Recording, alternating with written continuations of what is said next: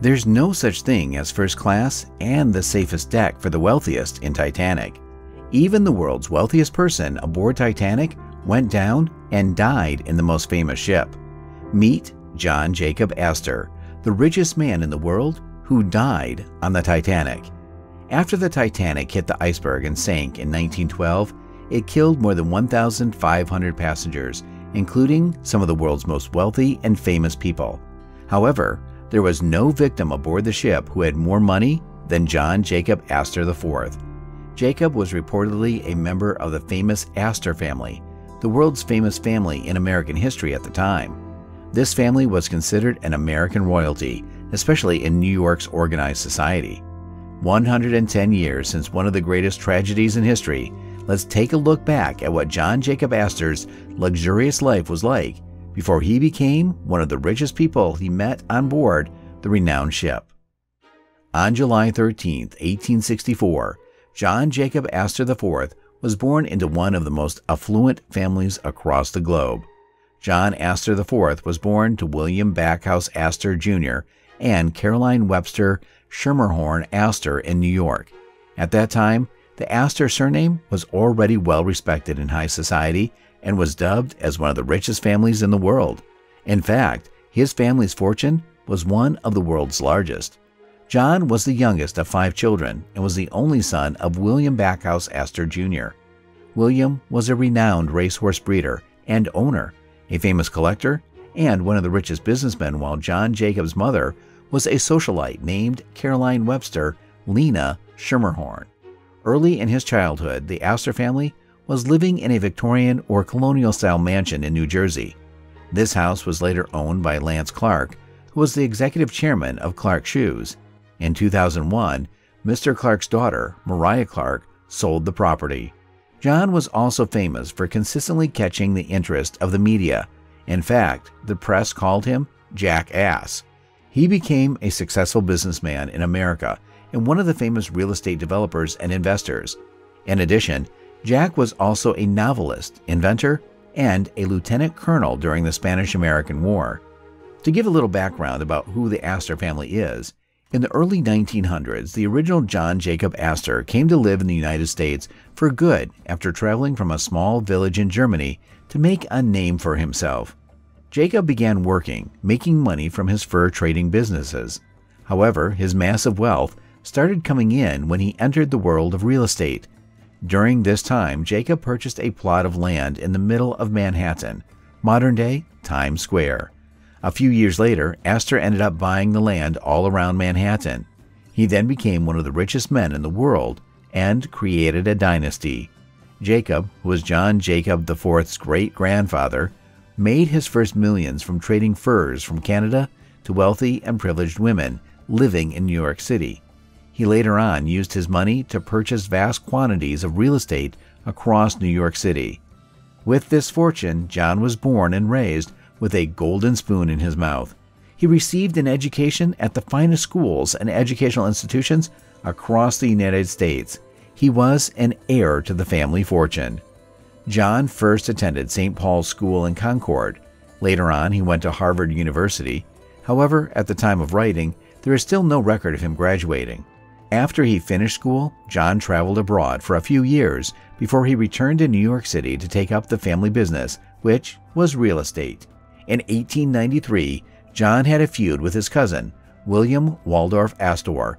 With an intent to annoy John, William built the Waldorf Hotel on the corner of 5th Avenue and 33rd Street. However, as expected, John didn't like what William did. They started competing against each other. John then built a competitive hotel in 1897 on the adjacent corner in retaliation and reportedly named it the Astoria Hotel. But the feud between the two didn't last long. Both William and John decided that it was best for them to join both of their hotels, as it would be a smart business decision.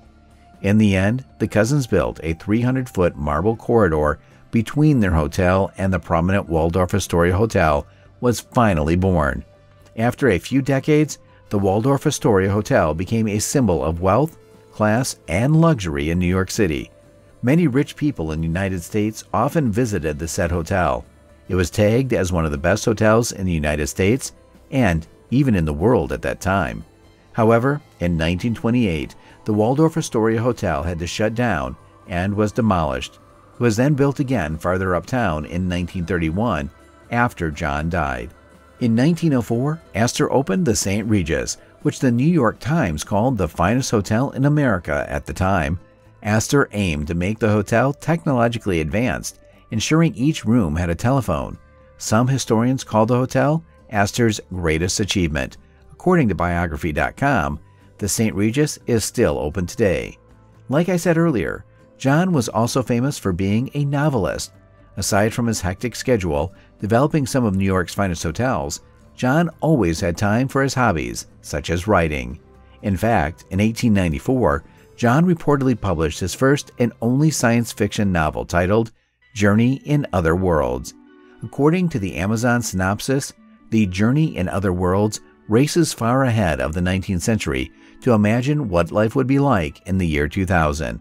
At the beginning of the 21st century, Earth was effectively a corporate technocracy with big business using incredible advances in science to improve life on the planet as a whole, seeking other planets habitable for the growing human population.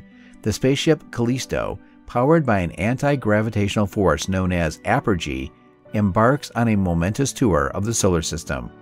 Not only that, John was also known for inventing a vibratory disintegrator, which helped create a pneumatic road improver he also made headlines because of his role in inventing a turbine engine.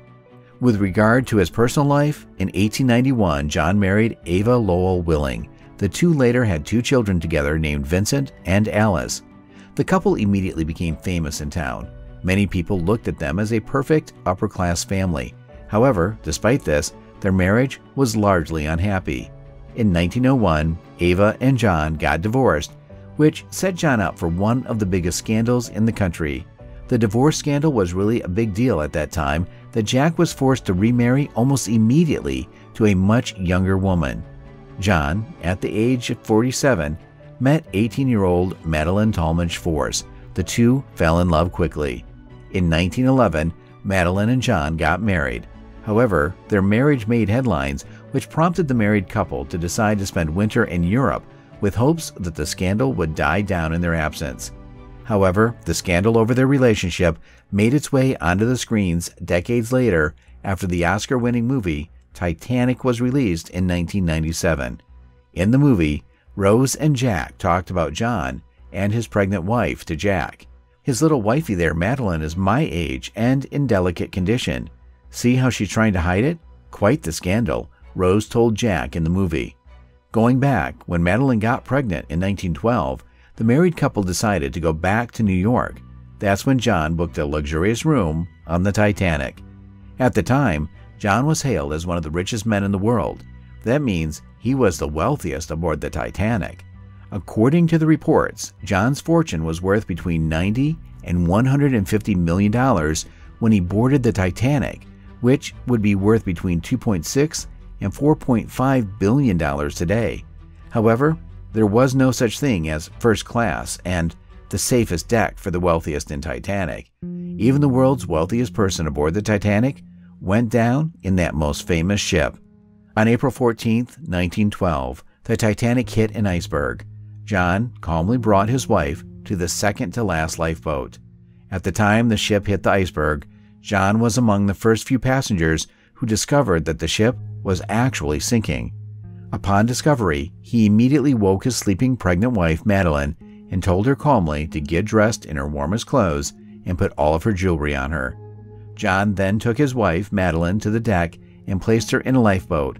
However, Madeleine didn't want to go and get separated from him. She clung to her loving and caring husband, telling him that she wanted to stay with him. However, John reportedly told Madeleine, The sea is calm, You'll be all right. You're in good hands. I'll see you in the morning. The next day, Madeleine looked for her husband, but he was nowhere to be found. John was reportedly last seen on the deck and was holding a personalized pocket watch and was wearing a dinner suit. Despite John being the wealthiest person aboard Titanic and the richest man in the world, he chose to save others first before him. The war hero became a hero once again. Two weeks after the Titanic sank, John's body was recovered by a search team from Halifax, Canada. Among the 1,517 passengers who died on Titanic, only 333 bodies were ever found, and John Astor was among them. Reports revealed at that time that he was found on April 22nd and was identified because of his unique monogrammed initials on his jacket. His pocket watch also reportedly contained a solid gold watch engraved with the initials JJA. Following John's tragic passing, his son Vincent traveled to Halifax to claim his father's body. At that time, among the 333 bodies recovered, 116 were buried at sea due to a lack of embalming fluid on the Mackay Bennett. Meanwhile, Astor's wife survived the shipwreck. She then gave birth to their son and named him after her hero husband, John Jacob. After John's death, the majority of his wealth went to Vincent, his son from his first marriage. He then donated the majority of it and became a philanthropist in New York City. John Jacob Astor VI also received a small portion of his father's fortune, while John's second child, his daughter Ava, was left a $10 million trust fund. Moreover, John's widow, Madeleine, was left with a $5 million trust fund and an additional annual income of $500,000. Through the years, John's name and his reputation have survived despite the tragedy.